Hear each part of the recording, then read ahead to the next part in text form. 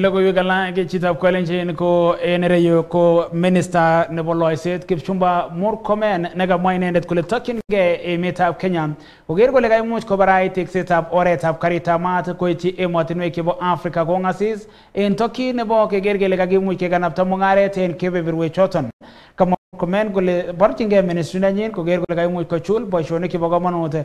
chebo kechul emotinwek cheterter anan oratinwek kochut emotinwek cheterter chemiten East Africa noton ko Africa kong'asis under the African Infrastructure Network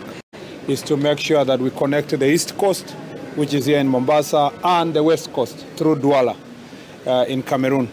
And uh, our desire is to make sure that the seamless connectivity happens from our uh, sister countries all the way to DRC, and the meeting has been uh, attended by the DRC uh, representation uh, virtually. And I believe that uh, the dream of, uh, of SGR is on.